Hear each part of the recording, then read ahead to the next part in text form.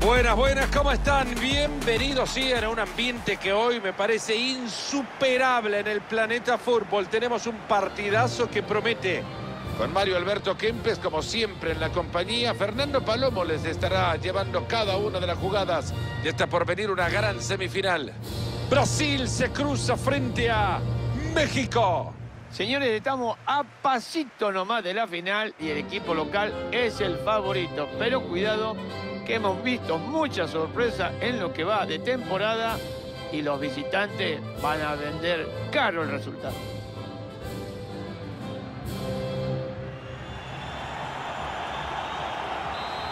Puede gustar o no, pero la pasión que genera este deporte, yo no la comparo con ningún otro, Mario. Y a mí me gusta todos los deportes, ¿cómo no me van a gustar? Pero este espectáculo es incomparable, es una fiesta.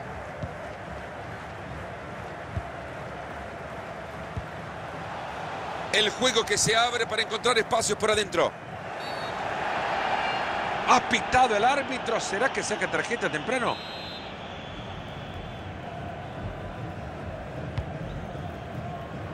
Balón interceptado, no han completado la jugada.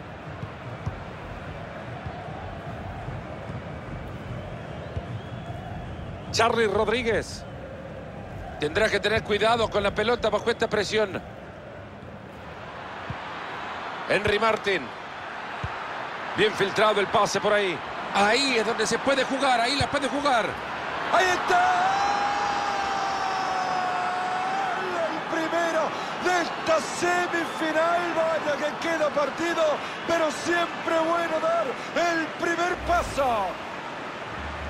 Se escapó solo Mario con las múltiples decisiones que pudo tomar, eligió lo mejor. Tomó la mejor decisión. Ahora yo no me explico. Ese fortaleza física, ese desgaste que hizo en esos metros que corrió, nadie lo pudo parar. Y ahora es el que más disfruta. Y es que seguimos con el partido 1 a 0.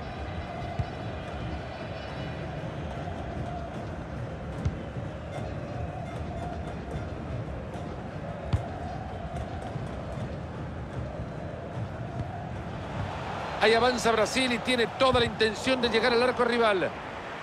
Algo me dice que alguien quiere la pelota.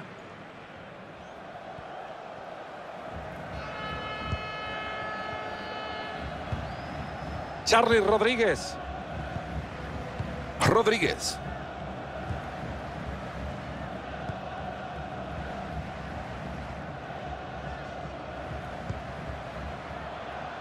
Se viene bien pegadito a la raya.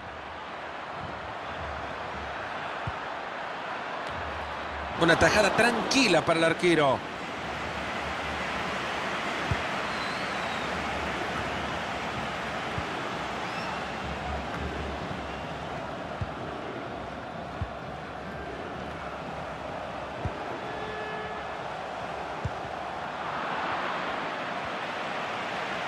Sigue sin parar, gana Terrino. El empate está. Y el rival que responde bien. Ojo que este tiene potencial. Ojo que necesita más jugadores atrás. Aquí puede haber peligro. ¡Gol!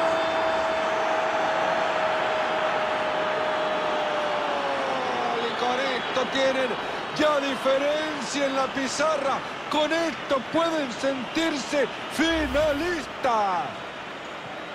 Señores, la repetición de este balón metido en profundidad con un peligro que es donde se empieza a armar la gran jugada. Se escapó solo Mario con las múltiples decisiones que pudo tomar, eligió lo mejor. Tomó la mejor decisión. Ahora yo no me explico. Ese fortaleza física, ese desgaste que hizo en esos metros que corrió, nadie lo pudo parar. Y ahora es el que más disfruta. A jugar el fútbol con las manos la selección mexicana. César Montes.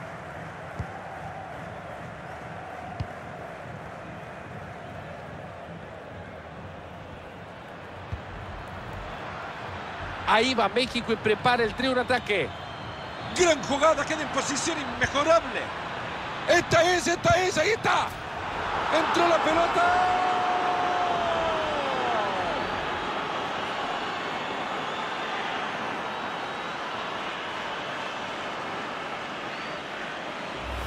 Volvemos a ver repetida la jugada de dónde viene el pase. Bueno, señores, a media distancia y de una forma perfecta y bien colocada, esa pelota entró sin que el arquero pudiera hacer nada. Así como va este partido, muchachos, yo no sé si quieren seguir jugando lo que queda.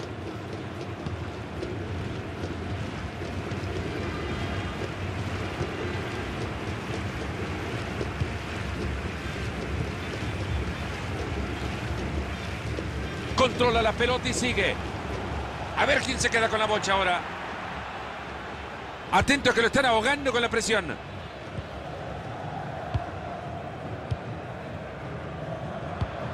Inconcebible cómo lo ha regalado México.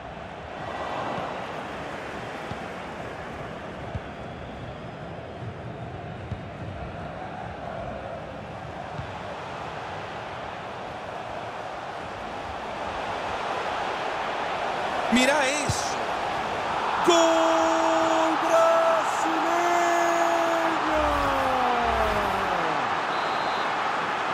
Y por ahora el marcador 3 a 1. Así llegamos al entretiempo, Marito. Buen trabajo, buena tarea realizada hasta ahora para este equipo y el reflejo queda en el marcador, en ventaja en esta semifinal. Yo diría que una semifinal bastante pareja, pero que uno supo aprovechar mejor las ocasiones que el otro. Por eso la diferencia en el marcador.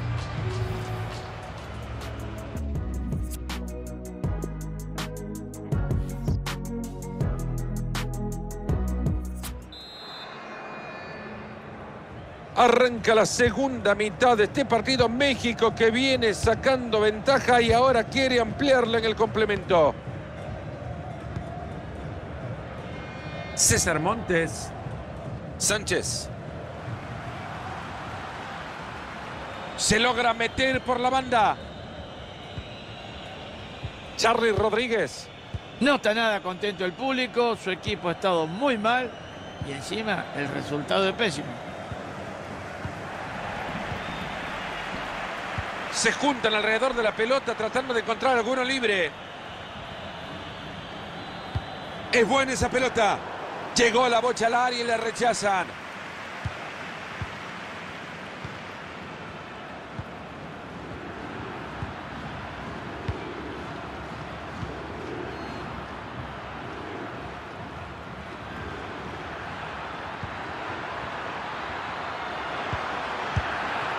¿Y este chico a dónde le quiso pegar? Pregunto nada más.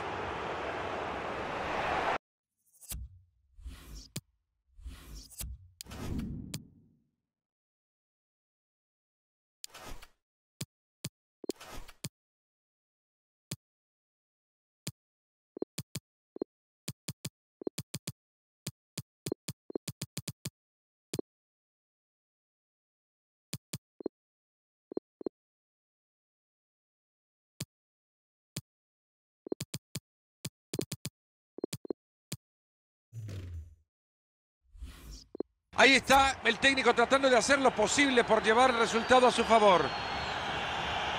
Fernando, ¿qué quiere que te diga? Ya llegó la hora de cambiarlo. El técnico necesita gente fresca como para hacer goles. Ya no da más, no tolera la presión, a punto de perderla.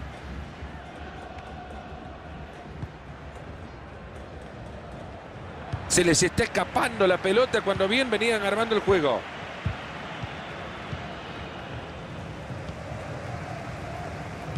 Era buena la intención, pero les cortan el balón. Ahí le queda, puede ser, puede meterla. Viene con ganas. ¡Gol!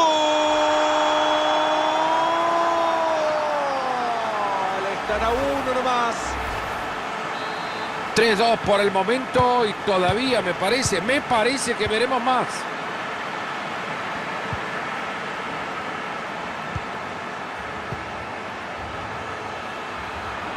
Ha perdido la pelota el equipo brasileño.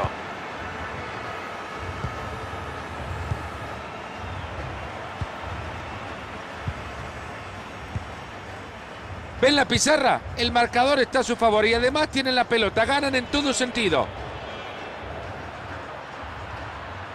Y ahora entra por la banda. Tiene oportunidad de cruzarla.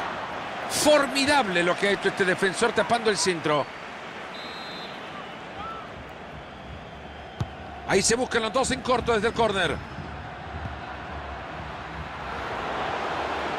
Ahí va corriendo por la banda. Se ha cruzado y tapa. Intentarán a pelota parada y desde el córner generar todavía más ventaja. Y ahora el córner corto que busca compañero. Gran pase puede ser. Es fuera de juego y le vamos a creer al árbitro.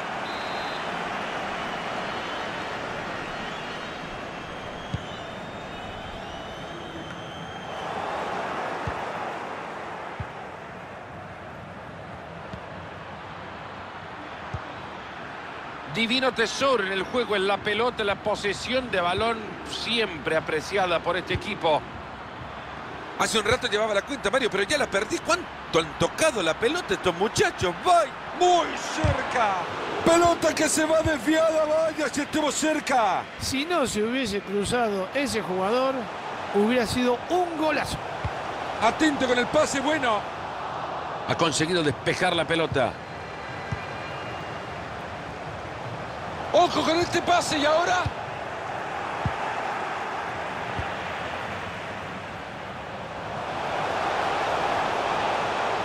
Y siguen dejando espacio. ¿eh? Tiene agujeros grandes y los delanteros lo están aprovechando. Seis minutos más y nos cuentan cuánto le suma el árbitro. Ojo que este tiene potencial. Lo liquida. A este arquero se le metió el alma del Evia Shane, Marito. Y que le sigan tirando, Fernando. Se viene un tiro de esquina. Con un gol pueden terminar ya con el partido. ¡Hay penal! ¡Penal! ¡Penal! Es penal, pero solo le ha sacado la amarilla. Bueno, por lo menos eso es lo que han ganado. No han perdido el hombre, pero sí tienen un penal en contra.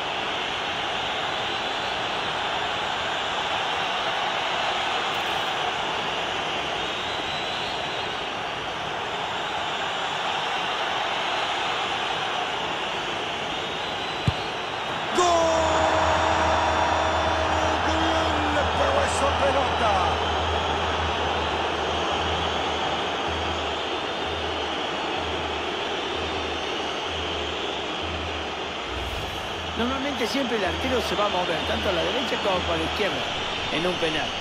Si vos lo tiras al medio, las posibilidades de hacer gol son, son buenas, son mayores, podemos decir. Bueno, eso es lo que hizo el delantero. Lo tiró por el medio y la pelota entró ante la desesperación del arquero. A este ritmo van a marcar todavía más goles. Nos ponemos 4 a 2. Entramos ya en el último minuto de juego.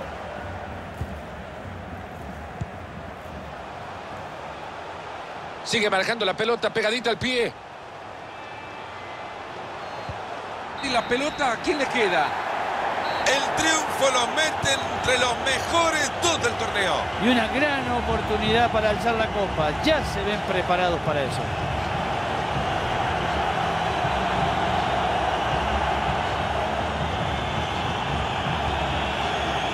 Nada que haya dejado este jugador en la cancha nos hace creer que pasará como una de las figuras. Es más, yo creo que ni lo detendrá la prensa de lo poco que dejó en el campo.